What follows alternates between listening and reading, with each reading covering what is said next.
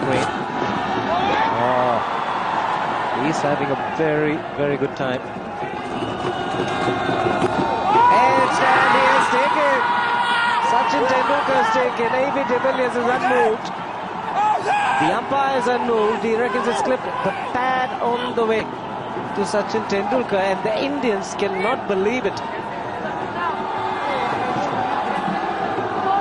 Well, incredible take either way from Tendulkar.